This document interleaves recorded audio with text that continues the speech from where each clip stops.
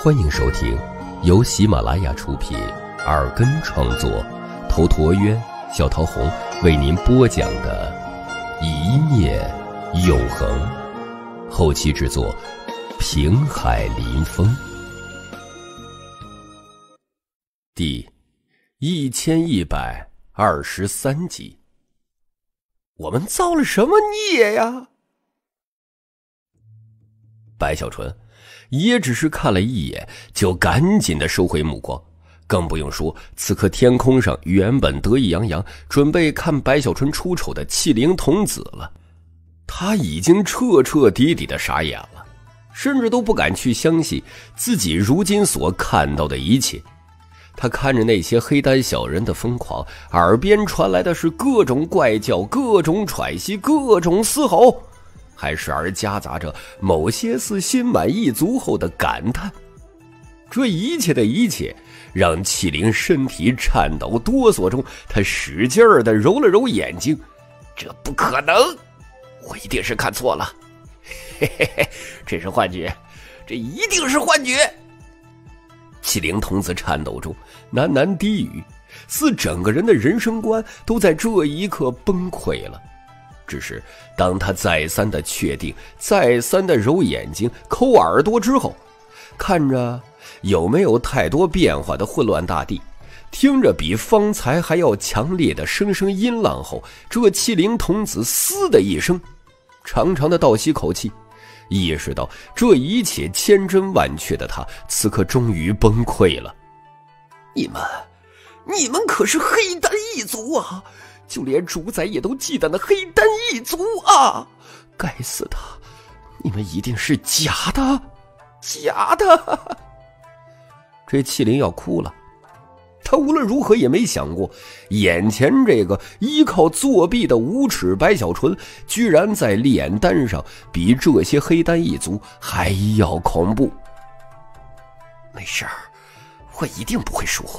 黑丹一族之所以强悍，除了炼制各种怪丹外，他们的性格中带着坚韧与绝不屈服，这才是他们的可怕之处。我相信。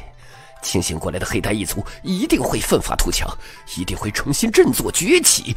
这一关绝不会，也绝不可能被通过。气灵童子不断的给自己鼓劲儿，自己也都歇斯底里了。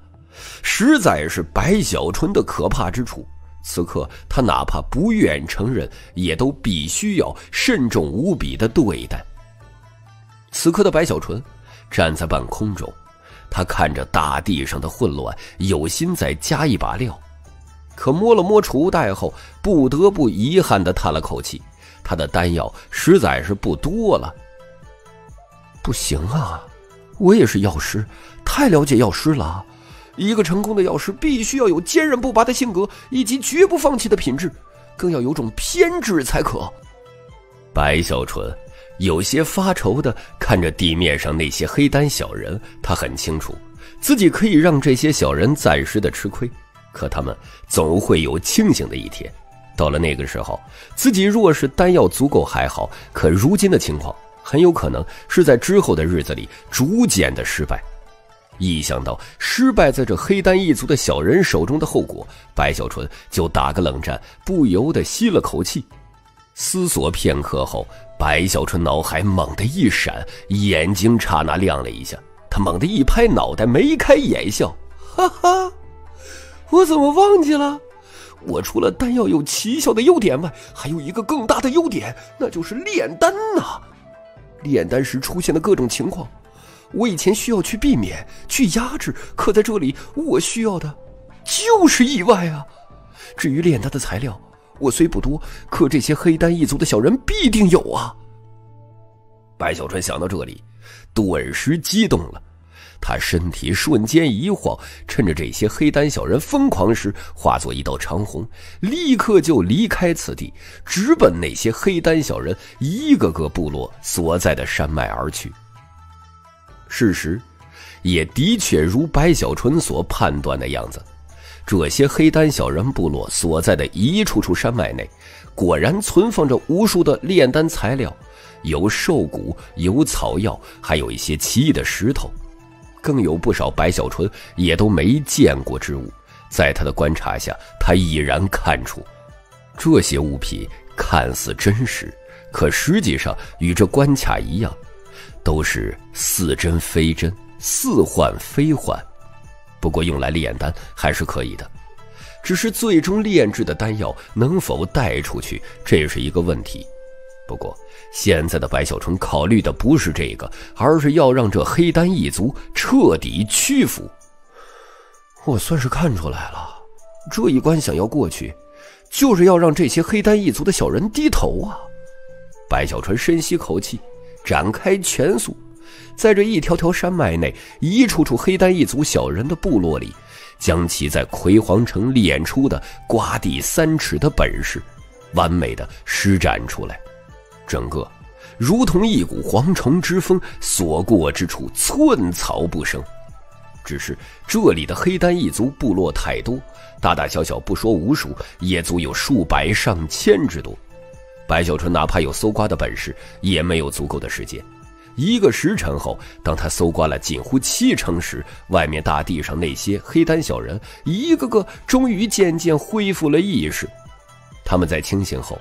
在察觉之前，这一个时辰都发生了什么可怕的事情后，他们所有人都呆了一下，很快的，一个个就爆发出比之前一个时辰更为凄厉的嘶吼：“我，我要杀了你，卢铁！我们黑丹一族与你势不两立，你死定了！啊！我发誓，有你没我黑丹一族！”无数的黑丹一族小人全部都怒吼滔天，似乎他们这一辈子也都没有如今天这样的疯狂，这样的怒意惊天。这件事情对于所有的黑丹一族小人而言，就是这一生都无法洗刷的奇耻大辱。他们此刻已经顾不得要把白小纯当炉鼎了，他们唯一的念头就是找到白小纯，将其折磨一万年。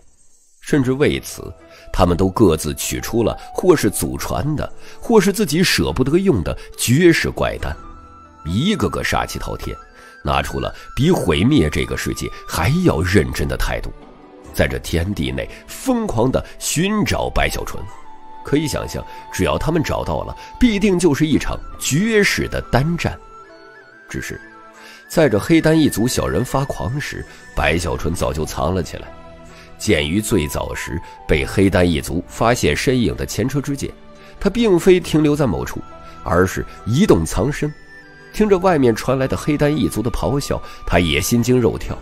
一方面对于这些小人的恢复速度感到吃惊，另一方面也不甘心。哼，你们给我等着，我们还没完！白小春冷哼一声。在其中一处藏身之地，取出之前搜刮来的一个个小丹炉，也不觉得麻烦，又拿出自己储物袋内的不少大丹炉，开始炼丹。不就是持久战吗？我怕你们！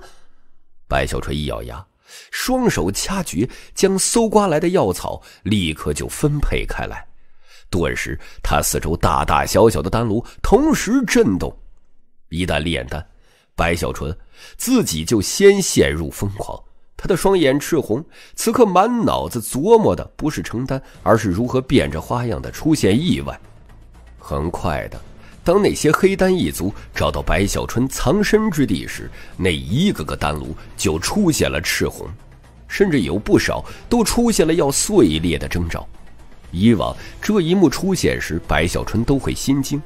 可如今却是狂喜，袖子一甩，直接就将这些丹炉全部扔了出去，也不看具体扔的地方，全部卷出后，顿时炸裂之声就持续的轰鸣而起，轰隆隆的巨响过后，在那些黑丹小人的怒吼下，白小春身体一晃，再次离去，出现时又在了另一处区域藏身，继续炼丹。